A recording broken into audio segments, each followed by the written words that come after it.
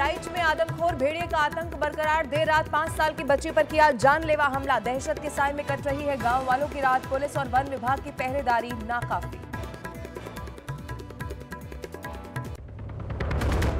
हरियाणा विधानसभा चुनाव के लिए बीजेपी की पहली लिस्ट तैयार। आज हो सकता है उम्मीदवारों के नाम का ऐलान। कल बीजेपी मुख्यालय में देर शाम तक चला मंथन।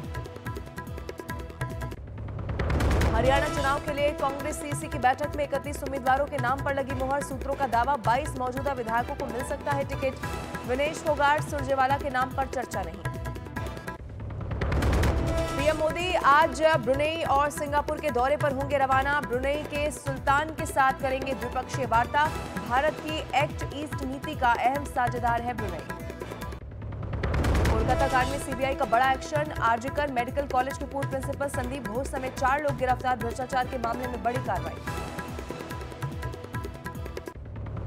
राजस्थान के बाड़मेर में fighter plane M I G twenty nine crash. तेज धमाके के साथ आग लगी। सुनसान इलाके में गिरा जेट। हादसे से पहले सुरक्षित निकले दोनों पायलट।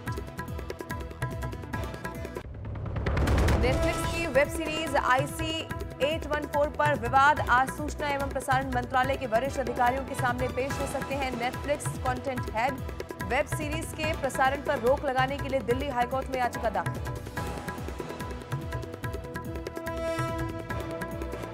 पतंजलि गोनाइल पवित्र गौमूत्र अर्क एवं एंटीबैक्टीरियल जड़ी बूटियों से निर्मित।